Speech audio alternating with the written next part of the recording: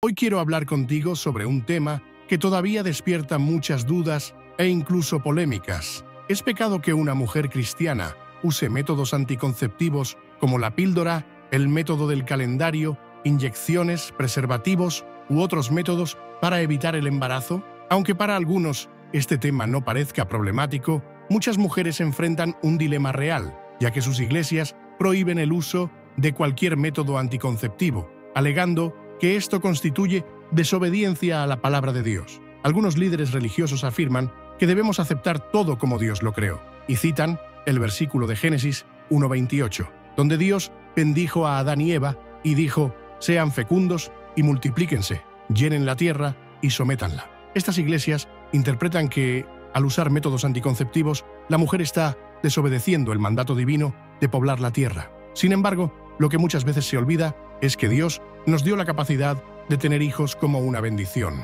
Y la idea de traer hijos al mundo está vinculada al propósito de generar amor, cuidado y una estructura familiar saludable. Es cierto que la Biblia enseña que la generación de hijos es un mandato divino dentro del contexto del matrimonio. No obstante, no hay ningún pasaje que obligue a las parejas a tener el mayor número de hijos posible. Lo que Dios realmente espera de nosotros es que podamos ofrecer a nuestros hijos una educación con amor, sustento y cuidados adecuados. Esto significa que más importante que tener una gran cantidad de hijos es darles buenas condiciones de vida, alimentación, vestimenta, cariño, orientación y apoyo emocional y espiritual. Como el apóstol Pablo escribió en 1 Timoteo 5:8, si alguno no provee para los suyos, y mayormente para los de su casa, ha negado la fe y es peor que un incrédulo. Cuidar de los hijos va más allá de simplemente traerlos al mundo. Significa ofrecerles un ambiente seguro, amoroso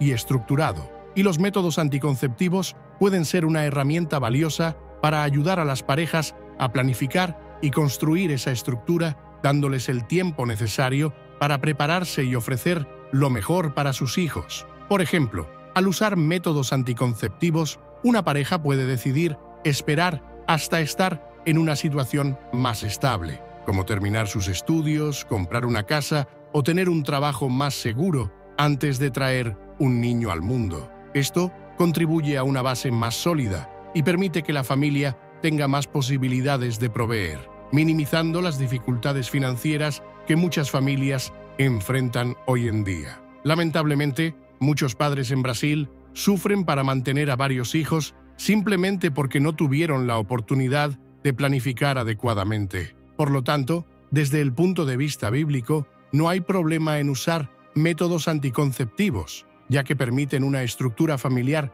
más equilibrada y evitan el sufrimiento en situaciones de extrema dificultad. El uso de métodos anticonceptivos no es, de ninguna manera, un desafío a la voluntad de Dios. Algunos creen que el uso de anticonceptivos desafía la soberanía de Dios sobre la creación de la vida, defendiendo que solo Dios debería determinar cuántos hijos debe tener una pareja. Sin embargo, este argumento no tiene sentido cuando se entiende la doctrina de la providencia divina. Dios cumple sus propósitos, muchas veces a través de nuestras acciones y decisiones. Esto significa que incluso cuando utilizamos métodos anticonceptivos, Dios sigue siendo soberano, siendo Él quien determina cuándo y cuántos hijos tendremos. De hecho, hay casos conocidos de mujeres que han quedado embarazadas incluso después de haberse sometido a procedimientos anticonceptivos o quirúrgicos, lo cual refuerza que, al final, Dios sigue teniendo el control de todo.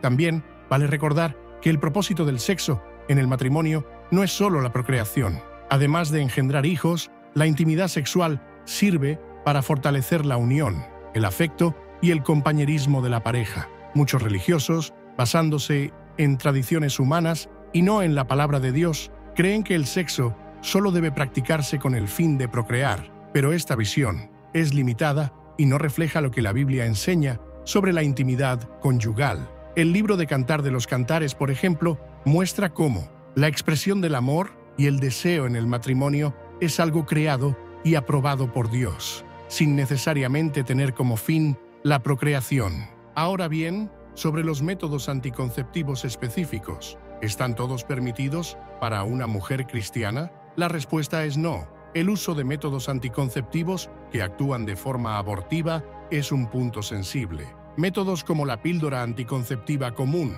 y el preservativo impiden la fecundación del óvulo. Por lo tanto, no constituyen un aborto y se pueden usar. Sin embargo, otros métodos, como la píldora del día después, actúan impidiendo el desarrollo de un óvulo ya fecundado, es decir, de una vida que ya comenzó a formarse, lo cual va en contra de los principios de respeto a la vida que Dios nos dio. Por lo tanto, si tienes dudas sobre qué método anticonceptivo usar, es importante que hables con un médico ginecólogo y explores las mejores opciones disponibles. Y recuerda siempre, Dios es amor y Él desea que tengamos familias estructuradas, que proporcionen tanto amor como cuidado a nuestros hijos, sean muchos o pocos. Lo más importante es que sean criados en un ambiente de cariño, respeto y orientación divina. Que Dios te bendiga en tu camino y en tus decisiones. Adquiere nuestro ebook.